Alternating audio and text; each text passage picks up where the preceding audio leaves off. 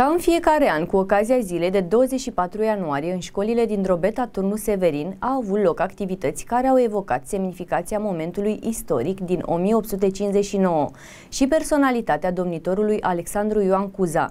De această dată vorbim despre elevii școlii gimnaziale Constantin Negreanu din municipiul Drobeta Turnu Severin, acolo unde elevii claselor gimnaziale au sărbătorit această zi importantă pentru România.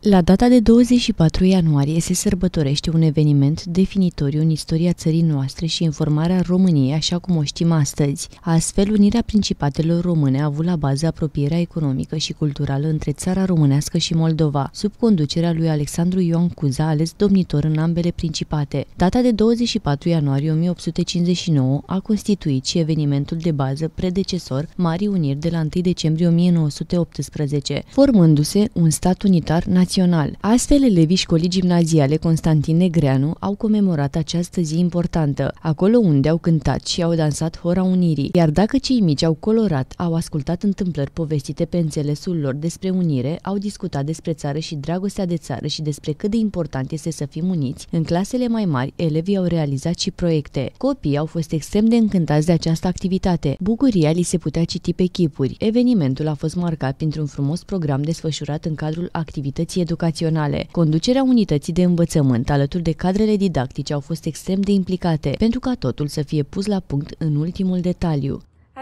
Astăzi sărbătorim data de 24 ianuarie, Unirea Mică, unde s-a unit uh, țara românească cu Moldova.